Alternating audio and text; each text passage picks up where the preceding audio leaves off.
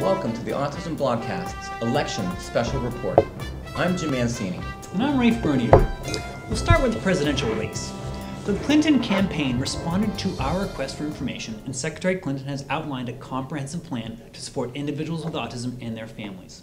It includes expanding insurance coverage for autism services, conducting a nationwide early screening outreach campaign, increasing employment opportunities by launching a new Autism Works initiative, a focus on protecting children from bullying at school, and then investing in more research to deepen our understanding of autism, including the first nationwide study of prevalence in adults with autism. And, by the way, Secretary Clinton cited the Simons VIP study as a model for how science should be conducted. And, by the way, one of the principal investigators in that study is Seattle Children's own Dr. Raphael Bernier. Right, well, all I can say is that Secretary Clinton has outlined this plan on her website, and that her views on science are spot on from my perspective.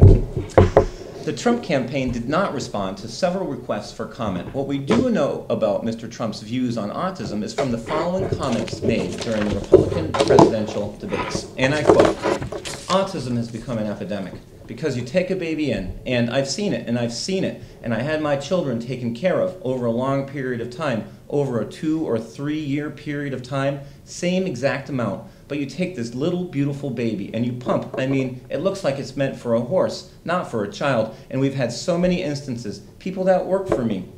Just the other day, two years old, two and a half years old, a child, a beautiful child, went to have the vaccine and came back and a week later got a tremendous fever, got very, very sick, now is autistic. I'm in favor of vaccines, but do them over a longer period of time. Same amount, but just in little sections. I think you're going to have, I think you're going to see a big impact on autism. Moving on to local Washington races. Can I just say something? So, how much longer are we going to need to be dispelling the myth that somehow vaccines are causing autism? I mean, we have study after study after study. Rafe, how many studies have there been that have not linked vaccines to autism? Well, so there's been 10 really well designed studies that have not found it. 10 studies. How many studies have have linked vaccines to autism? Uh, so that would be zero. Zero studies linking autism to in vaccines. And a message to anybody running for election this year: please pay attention to the science and avoid conspiracy theories that are propagated by uh, celebrities or disgraced physicians. And by the way, vaccines do not cause autism. Thank you, Jim. Moving on to local Washington races.